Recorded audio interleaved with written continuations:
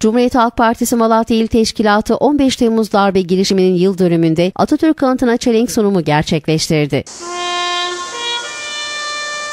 İl Başkan Vekili Übeyit Öksüz, Yeşilyurt İlçe Başkanı Ahmet Küçük Şahin, Battalgazi İlçe Başkanı Emin Dönmez ve çok sayıda partilinin hazır bulunduğu çelenk sunumunun ardından saygı duruşu ve istiklal marşı okundu.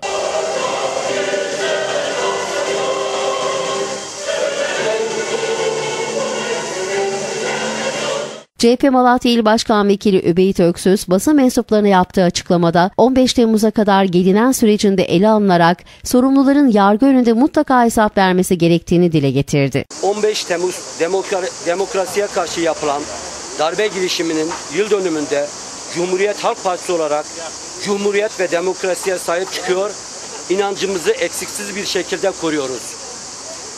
Görüşlerimiz ve siyasi düşüncelerimiz ayrı olabilir. Fakat hep birlikte demokrasinin yanında durmak zorundayız. 94 yıllık Cumhuriyet tarihi boyunca darbelerde çok çeken ülkemizin yanında şimdiye kadar nasıl durduysak en çok da Cumhuriyet Halk Partisi bu darbelerden yaralanmıştır, zarar görmüştür.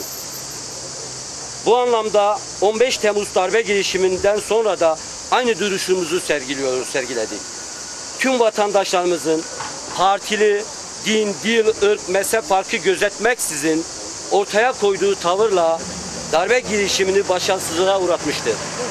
Sağduyulu ve darbeyi önleyici gidişimlerde bulunan güvenlik güçlerimize teşekkürü borç biliyoruz. 15 Temmuz gecesi darbeye karşı direnirken hayatını kaybeden 249 şehidimize rahmetle anıyor, gazilerimize şükranlarımızı bildiriyoruz. Teşekkür ederiz.